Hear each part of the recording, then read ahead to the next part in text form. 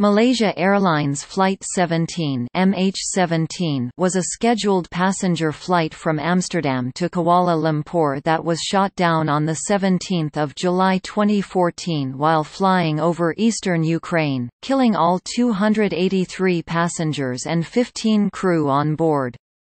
Contact with the aircraft, a Boeing 777-200 ER, was lost when it was about 50 kilometers (31 miles) from the Ukraine-Russia border and wreckage of the aircraft fell near Hrabove in Donetsk Oblast, Ukraine, 40 kilometers (25 miles) from the border.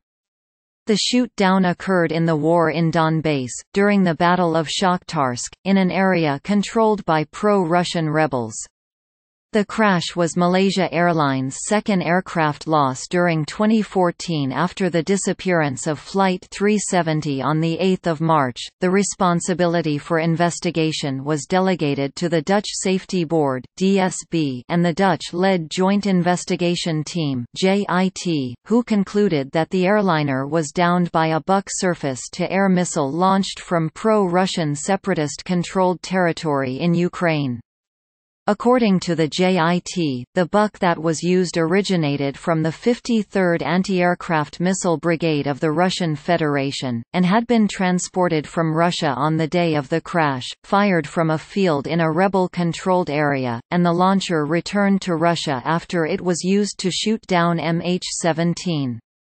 On the basis of the JIT's conclusions, the governments of the Netherlands and Australia hold Russia responsible for the deployment of the Buk installation and are taking steps to hold Russia formally accountable. The DSB and JIT findings confirmed earlier claims by American and German intelligence sources as to the missile type and launch area.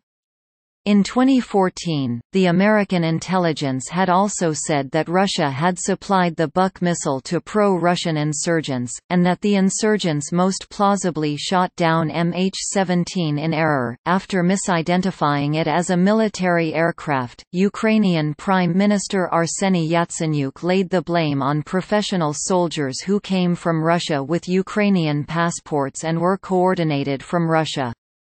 As of May 2018, the Russian government rejects claims that Russia bears any responsibility for the crash, and denies involvement. The Russian Defense Ministry said that it had never deployed anti-aircraft missile systems in Ukraine. Several conspiracy theories about the crash have since appeared in Russian media, including that the aircraft was followed by a Ukrainian military jet. The Russian government holds Ukraine responsible for the crash, asserting that Ukraine should have redirected the civilian traffic away from the area of conflict. Several Ukrainian Air Force (UAF) aircraft had been shot down over the rebel-controlled territory before the MH17 incident. Immediately after the crash, a post appeared on the VKontakte social media profile attributed to Igor Girkin, leader of the Donbass separatist militia, claiming responsibility for shooting down a Ukrainian An-26 military transporter near Torez. This post was removed later the same day, and the separatists then denied shooting down any aircraft.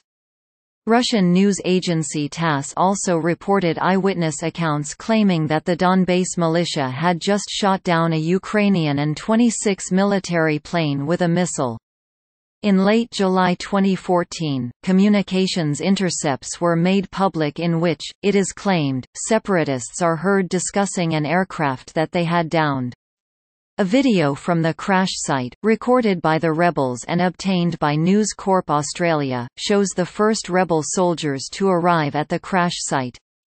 At first, they assumed that the downed aircraft was a Ukrainian military jet, and were dismayed when they started to realize that it was a civilian airliner.